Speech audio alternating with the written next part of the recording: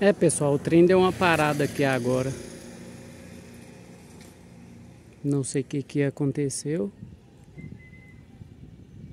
Pode ser troca de equipe, mas acabou fechando a PN aqui. Mas quem gostou do vídeo aí, deixe seu like, se inscreva no canal e ative as notificações. E até a próxima.